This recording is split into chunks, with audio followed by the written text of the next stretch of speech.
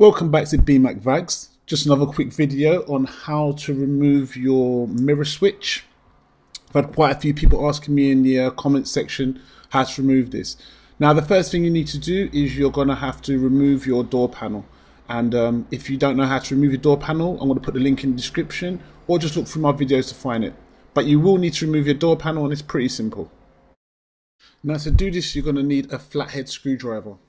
Um, it's really, really simple, but this is the only tool you're going to need once you've removed it. Now this unit is just a push-in fitting.